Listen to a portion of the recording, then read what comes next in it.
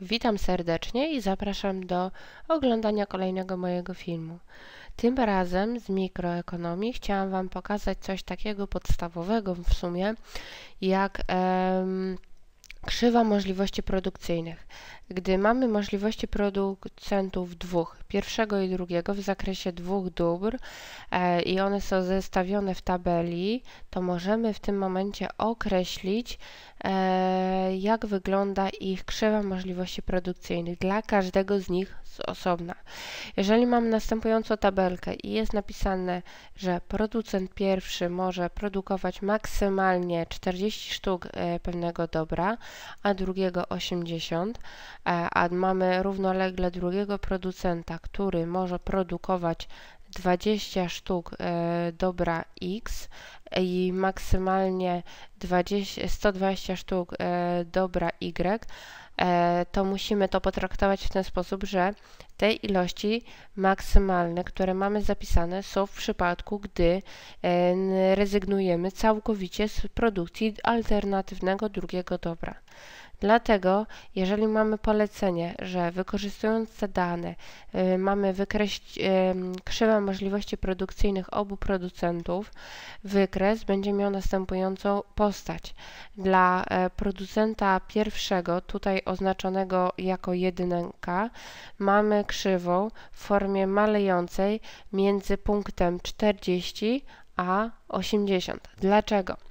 Bo E, dobra 40 on może produkować tutaj, w tym punkcie, tylko gdy w ogóle nie produkuje dobra Y. A więc ten pierwszy punkt jest to punkt o produkcji 40 sztuk jednostek e, dobra X i 0 jednostek dobra Y ale drugi punkt, który no, dotyczy producenta pierwszego, to punkt 0,80, czyli tutaj na osi e, Y oznaczonej jako dobro Y.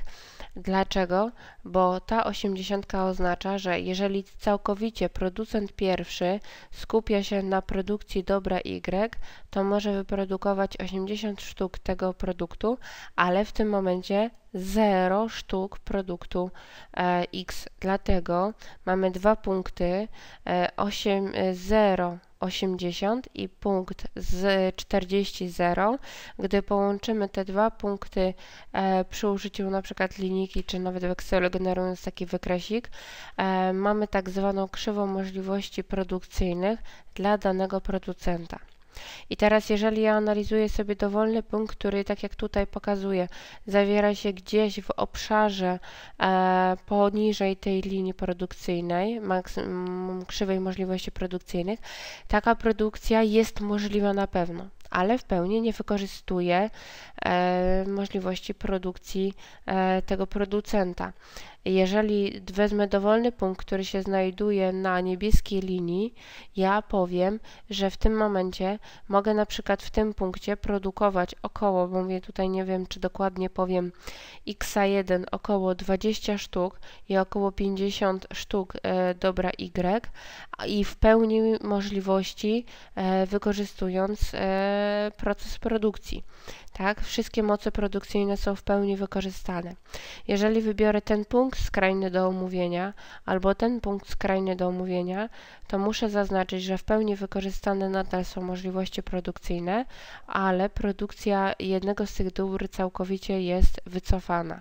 Czyli w tym punkcie całkowicie wycofana jest produkcja dobra X, a w pełni Y produkujemy tylko dobra, a w tym punkcie produkujemy tylko dobro X w ilości maksymalnej możliwej 40 sztuk, czyli w ogóle nie produkujemy dobra Y, a w pełni wykorzystane są możliwości produkcyjne.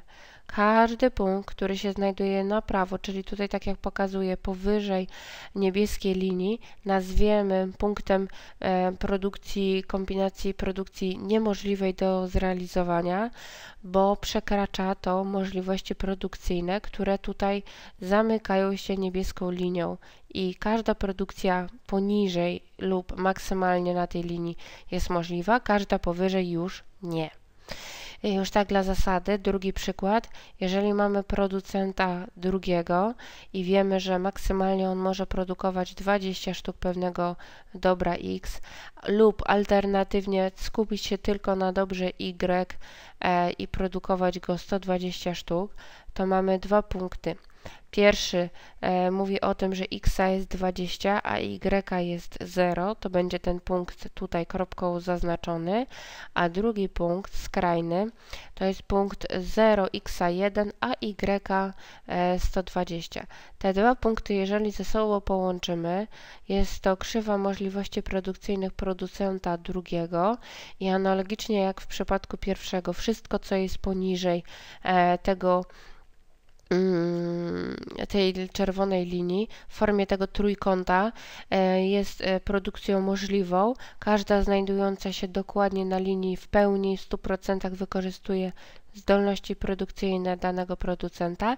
Wszystko, co jest powyżej czerwonej linii tutaj na prawo, to produkcja jest niemożliwa. Jeżeli macie jakiekolwiek pytania do mnie do zadań lub też e, po prostu chcecie wysłać mi swoje zadania do rozwiązania, możecie pisać na zadania myślnik projekty to adres mailowy do mnie. Możecie też wejść na stronę internetową tutaj podano w adresie, czyli zadania myślnik projekty.pl. Wszystko, co jest na YouTubie przygotowane, jest dla Was. Wszystko posegregowane w playlisty. Możecie moje filmy subskrybować, komentować, lajkować, zadawać pytania. Wszystko jest dla Was. I pamiętajcie, że wszystko może być oczywiście e, na Waszych zajęciach inaczej to przedstawione przez wykładowcę. E, to, co oni omawiają, jest najważniejsze. Moje materiały stanowią tylko uzupełnienie, a nie podstawę do zdobywania wiedzy. Podstawa to wykłady i chodzenie na ćwiczenia. E, rozwiązujcie sami jak najwięcej zadań, bo tylko wtedy zrozumiecie dobrze zagadnienia. Zapraszam serdecznie do dalszej nauki.